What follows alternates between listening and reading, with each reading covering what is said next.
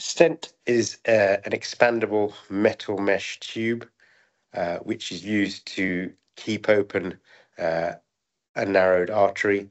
So, for example, in patients who have uh, narrowings or blockages in their heart arteries, either acutely or chronically, we can uh, implant these stents, which we can then expand and then keep the artery open, which usually uh, improves symptoms. So the stent, uh, if used to open up a blocked artery, keeps that artery open, and by doing that, you increase the blood supply to the heart muscle, uh, thereby providing relief and enough oxygen for the heart muscle tissue uh, to pump blood effectively around the body.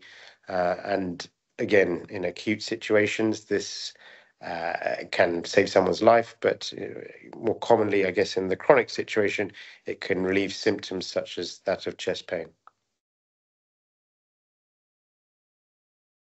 So the procedure uh, usually involves uh, the patient either coming in acutely or or as an elective patient where the patient is told not to eat or drink for four to six hours prior to the procedure the patient uh, comes into the cardiac catheter uh, laboratory. Uh, they lie flat. They're given a mild sedative usually, and most of the procedures are now performed via the artery in the wrist. Uh, historically, the majority were done via the artery in the groin, but now uh, there's less complications if we undertake the procedure through the wrist. We put a tube into the wrist artery and through that tube we pass long thin catheters which curve up towards the heart and then we can inject contrast into the heart arteries which we can visualize uh, on our x-ray to see where the narrowings are and where the blockages uh, could be.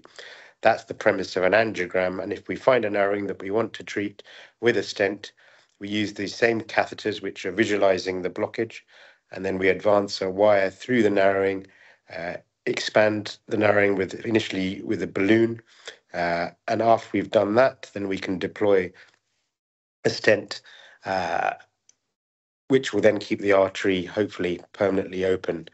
The procedure usually takes between 30 minutes uh, for a relatively simple uh, angioplasty to two hours if it's more complicated.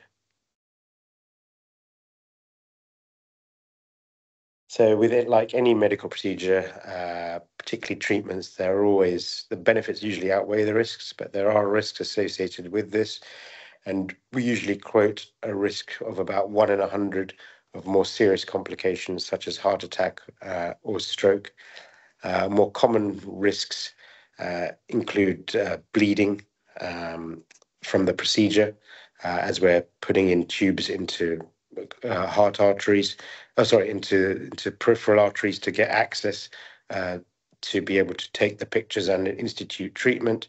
Um, but these are usually less serious if they do occur.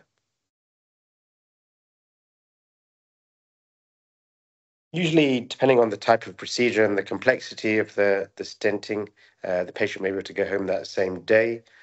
Um, usually we recommend that they uh, avoid driving for usually a week if they've come in as an elective procedure. If they've come in as a as a heart attack, for example, then we'd usually recommend that they uh, refrain from working from three to four weeks. In terms of lifestyle, we, we strongly advocate taking the medications that we prescribe following a stent, particularly the blood thinners, which help keep the stent open. We also recommend modifications in terms of diet uh, to promote a healthy lifestyle, such that further down the line we don't develop narrowings in other arteries uh, or issues with the stent. Um, and then we also recommend meticulous diabetic control uh, and uh, keeping optimal control of things, modifiable risk factors such as blood pressure and cholesterol.